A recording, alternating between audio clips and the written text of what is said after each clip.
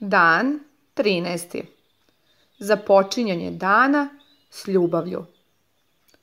Danas otkrivate kako način na koji započnete dan može da odredi ono što ćete doživjeti i tog dana. Učite kako moć pozitivnog stava može sve da promeni nabolje. Čestitam! Pregurali ste prvih 12 lekcija ovog kursa – Naučili ste kako da koristite rad pred ogledalom za promenu ustrojstva verovanja i oslobađanje nezdravih emocija. Počinjete li da osjećate moć rada pred ogledalom i uviđete li kako on može da vam promeni život? Danas ćete naučiti kako da koristite pomoć rada pred ogledalom za isceljenje određene oblasti života. Počnimo od toga kako započinjete dan. Da li ste znali da je prvi jutarnji sat od najveće važnosti? Kako ćete ga provesti? Odredit će sve što ćete doživjeti do kraja dana. Kako ste danas započeli dan? Koje su bile vaše prve reči kada ste se probudili? Da li ste se žalili? Da li ste razmišljali o tome šta ne funkcioniše u vašem životu? Način na koji započinjete dan često odslikava vaš život.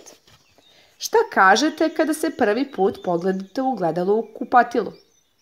Šta kažete kada se obučete? Kako izlazite iz kuće krećući na posao? Da li samo izjurite napolje ili prvo kažete nešto lepo? Šta radite kada uđete u kola? Da li zalupite vrata i zarežite jer morate na posao ili blagosiljate saobraćaj na svom putu. Previše ljudi započinje dan rečima. O sranje, već je novi dan i moram da ustanem. Prokletstvo. Ako počinjete dan na loš način, nećete imati dobar dan. Nikada. To nije moguće. Ako date sve od sebe da vam jutro bude grozno, i dan će vam biti grozan. Ja imam rutinu u kojoj se držim već godinama. Onog trenutka kada se probudim, ušuškam se još malo više u krevetu i zahvalim mu na stvarno dobrom noćnom snu. Radim to nekoliko minuta dok započinjem dan pozitivnim mislima. Govorim sebi stvari kao ovo je dobar dan, ovo će biti stvarno dobar dan. Potom ustanem, odem u kupatilo i zahvalim telu što dobro radi. Kratko vreme se protežem. Imam šipku za vežbanje na okviru vrata od kupatila koju koristim da istegnem celo telo. Uhvatim se za šipku, tri puta povučem kolena na grudi i potom visim na rukama. Nalazim da je istezanje tela ujutro veoma dobro za održavanje zdravlja i fleksibilnosti. Posle istezanja skuvam šolju čaja i odnesem je u krevet. Volim svoj krevet. Imam posebno uzglavlje postavljeno pod uglom kako bih mogla da se naslonim dok čitam ili pišem. Istezanje tela i uma je moj jutarnji obred. Potom polako ustanem. Pokušavam da obezbedim sebi dva sata pre nego što se suočim sa ostatkom dana. Volim kad mogu da objavljam stvari na tenane. Naučila sam da ne žurim. Ako ste užurbana majka ili otac i morate da spremite decu za školu, ako morate rano da stignete na posao, važno je da obezbedite sebi malo vremena i na pravi način započnete dan. Ja bih se radije ranije probudila kako bih imala to dodatno vreme ujutro. Čak i kada date sebi samo 10 ili 15 minuta, to je od najveće važnosti. To je vaše vreme za samo negu. Ako ustanete, kada ustanete, važno je da obavite obred koji vama prija i da kažete sebi nešto zbog čega ćete se dobro osjećati. Stavite u pogon najbolji mogući dan za sebe.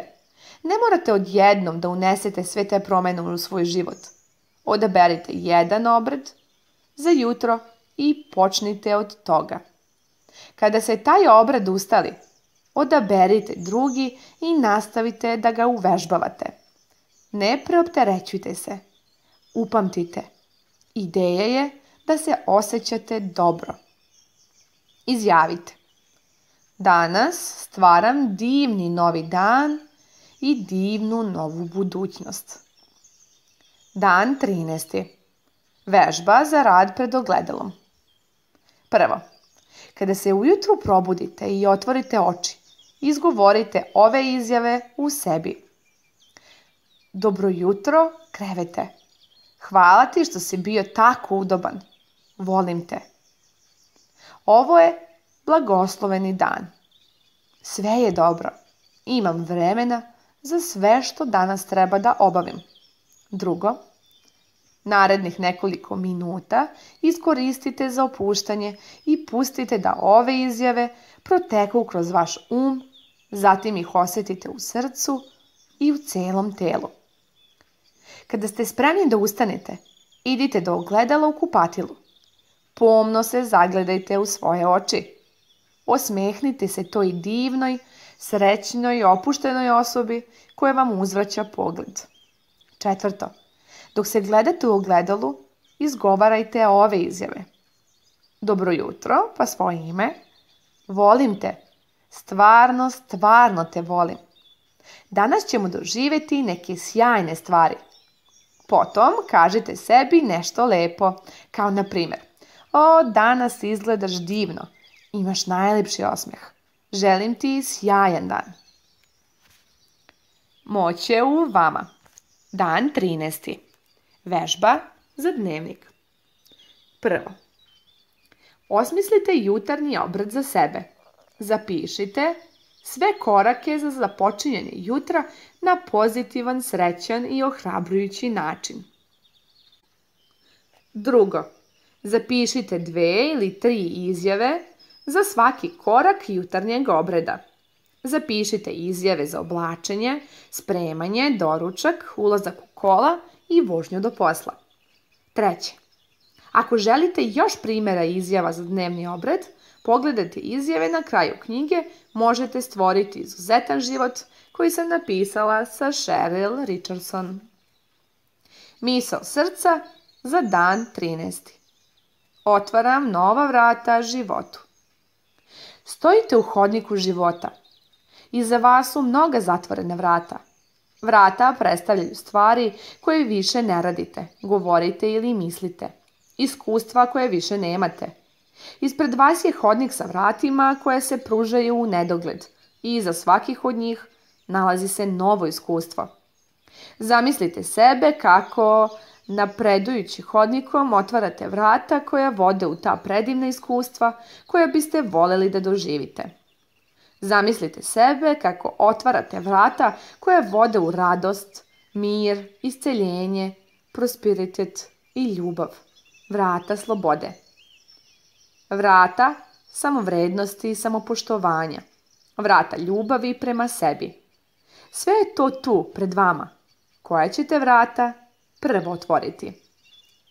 Verujte da vaš unutrašnji vodič vodi na način koji je najbolji za vas i da se vaš duhovni rast stalno širi.